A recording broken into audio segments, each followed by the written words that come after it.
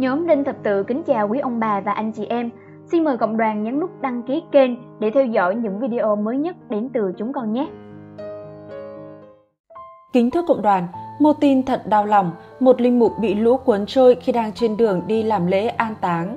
Cho tới nay, công tác cứu hộ chỉ tìm thấy vật dụng cá nhân, cuốn kinh thánh và chuỗi mân côi cùng giấy tờ cá nhân của cha. Tin tức được đưa bởi trang báo công giáo.vn. Cụ thể, Giáo hội Áo đang kêu gọi các tín hữu cầu nguyện cho linh mục Augustine Coenvi, 60 tuổi, bị nước lũ cuốn trôi vào tối 26 tháng 7. Cha Coenvi rời khỏi nhà thờ giáo xứ New Steve ngay sau thánh lễ tối. Điều đặc biệt là vào cuối thánh lễ này, chính quyền địa phương đã trao tặng cha huy hiệu công dân danh dự. Sau thánh lễ, cha lái xe trở về nhà xứ ở giáo xứ Fumis vì sáng hôm sau có thánh lễ an táng ở đó.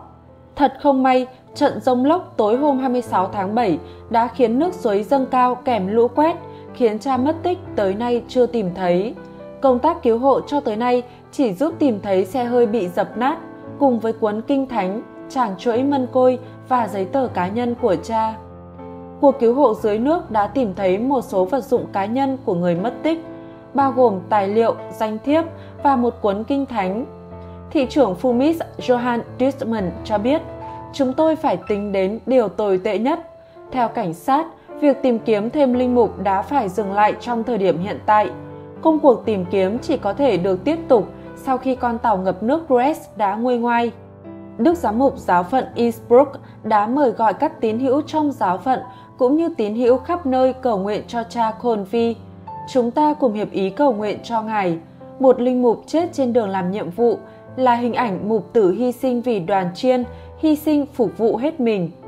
Vào tối Chủ nhật, các buổi cầu nguyện được tổ chức cho cha Augustine Colvi tại tất cả các nhà thờ trong khu vực chăm sóc mục vụ Stubaital. Sự đồng cảm của người dân đối với những hoạt động sùng đạo này rất lớn. Các thánh lễ trong ngày cũng tưởng nhớ linh mục, người đã làm việc tại Stubaital từ mùa thu năm 2019.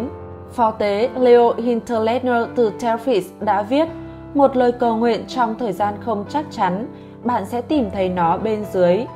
Giám mục Herman Klettler cũng đăng lời cầu nguyện lên Instagram và viết Linh mục Augustine ở đâu? Câu hỏi này khiến tôi cảm động. Tôi chia sẻ nỗi đau với những người ở Stubaital và tất cả Tyrol. Chân thành cảm thông, an ủi từ Chúa. Có lẽ Linh mục đã chết trong một trận lở đất kinh hoàng, không có gì chắc chắn. Cảm ơn vì lời cầu nguyện. Kể từ bây giờ, lần chuỗi măn côi diễn ra hàng ngày lúc 7 giờ tối trong nhà thờ giáo xứ Fumis sẽ được cầu nguyện cho cha Augustine Coenvi. Trước hoàn cảnh bi đát, lễ hội tiểu đoàn súng trường lẽ ra phải diễn ra ở Fumis vào Chủ nhật đã bị hủy bỏ. Tất cả các sự kiện khác ở Fumis và Telfis, bao gồm cả các buổi biểu diễn nhà hát trên sân khấu ngoài trời, cũng đã bị hủy bỏ trong tuần này. Xin cộng đoàn cùng cầu nguyện cho cha Augustine được bình an, nguyện xin Chúa gìn giữ các linh mục của Ngài khỏi mọi sự dữ. Amen.